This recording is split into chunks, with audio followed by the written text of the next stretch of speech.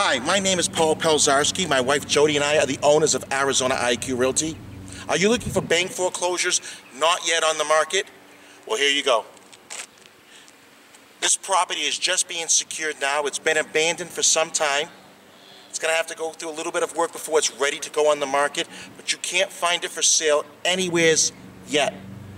For more information about this home or to know when it's going to go on the market, please contact us. We can answer all your real estate questions. Been selling real estate since 1994. Please take a look at our other videos and stay in touch. We'd like to help you out. Thank you so much, and we hope to hear from you.